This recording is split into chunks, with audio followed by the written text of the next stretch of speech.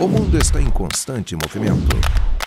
A gente trabalha para um futuro cada vez melhor. De segunda a sexta, Ney Gonçalves Dias e Camila Smith deixam você bem informado. Eu não posso ter um único ministro para cuidar de 100 processos. O que é notícia hoje, amanhã entra para a história.